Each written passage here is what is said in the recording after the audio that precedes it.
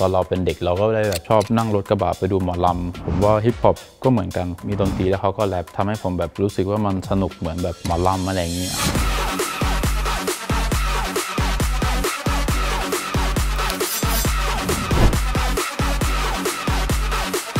เอเชียบอยบิ๊กไทยบอยแมนเดบิ๊กไทยบอยไทยบอยครับ โชว์ครั้งแรกในประเทศไทย ที่กรุงเทพงานมอลสบวันที่ 3 ธันวาเชิญทุกคนมาม่วนนำกันนะครับ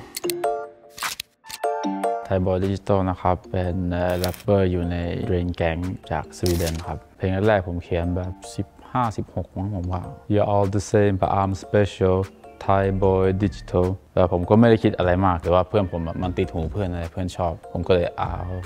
ชื่อไทยบริโซเป็นเอ่อชื่อศิลปิน คือผมเกิดที่ขอนแก่นแม่ผมทำงานสถานทูตสวิตที่กรุงเทพตอนทูตเขาย้ายประเทศไปสวีเดนแล้วเขาอยากให้แม่ไปด้วย แม่ก็ไปดูประเทศนั้นแล้วก็แบบรู้สึกว่ามันดีอะไรเงี้ยก็พาผม กับพ่อไปด้วย ตอนที่เรียนเพื่อนก็บอกว่าวันนี้เราจะไปบ้านบ้านโอเซียนนะบ้านเพื่อนอีกคนเขียนรายเราจะแรปกันเลิกเรียนเสร็จแล้วก็ไปบ้านเพื่อนแล้วก็ไปอัดเพลงกันแบบสิบ10กว่าคนทำแบบสนุกในแก๊งเราแบบประมาณ2อสปีจนแบบมีคนแบบหาโชว์ได้เราจะไปเล่นคอนเสิร์ตนะที่นี่นะแบบก็ตั้งแต่นั้นก็เริ่มทำมาเรื่อยๆ สมมติว่าปีนี้ตอนนี้ผมรู้สึกยังไง แล้วแบบทำเพลงวันนี้กลับมาฟังเพลงนี้ก็แบบนึกถึงความรู้สึกของวันนั้น บางสิ่งบางอย่างไม่สามารถพูดออกมาได้ ก็จะมาระบายที่เพลงมากกว่า ตอนนั้นผมดีลกับการที่จะต้องแบบโดนไล่ออกจากประเทศจากสวีเดนก็เลยมาทำเพลงอัลบั้มแรกผมก็น่าจะแบบระบายความโกรธทุกสิ่งทุกอย่างที่ผมรู้สึกเข้าไปในเพลง มันก็จะเป็นแบบเพลงที่แบบหนักๆเจ็บๆเป็นสามเพลงที่ผมแนะนำให้แฟนคลับไทยเข้าไปฟังกันนะครับ เพลงแรกก็ I'm Fresh จำได้ว่าวันนั้นผมโกรธอะไรทักอย่าง แล้วแบบเข้าไปสตูดิโอแบบไม่ไหวแล้วขอแบบเดือดเดือดๆเลย เพื่อนก็แบบจัดบีทมาให้ สมองผมแบบโฟล์มากแป๊บเดียวเพลงเสร็จแล้วแบบฟังในสตูดิโอแบบระเบิดแบบเต้นแบบบ้าบอแบบทุกคนก็พูด I'm Fresh I'm Fresh I'm Fresh I'm Fresh แบบถ่ายวิดีโอ I'm Fresh นู่นนี่นู่นแบบมัน เอฟเฟกต์มันเยอะ เพลงที่ 2 Kit Kat อัลบั้ม Legendary Member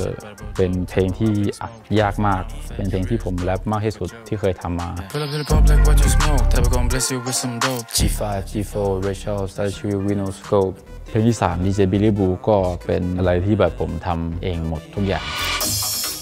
ผมรู้สึกว่าผมอีสานมากกว่ากรุงเทพผมมารู้สึกว่าแบบผมอยู่แบบห้าหกปีแม่บอกว่าอยู่แค่แบบปีเดียวเอง ปีสองปีเองบอก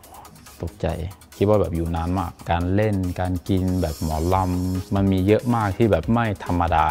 มันอยู่ในเลือดมั้ง ตอนเราเป็นเด็กเราก็เลยแบบชอบนั่งรถกระบะไปดูหมอลำ ผมว่าฮิปฮอปก็เหมือนกัน มีดนตรีแล้วเขาก็แรปทำให้ผมแบบรู้สึกว่ามันสนุกเหมือนแบบหมอลำอะไรอย่างนี้ เพลงไทยอะผมสนใจเพลงยกล้อเป็นอะไรที่แบบกระตุ้นหัวใจทำให้แบบผมอยากจะแบบเต้น ยกล้ออาจจะเป็นแบบสะพานที่ผมตามหา ที่จะแบบจูนคนทุกที่มาสนุกด้วยกัน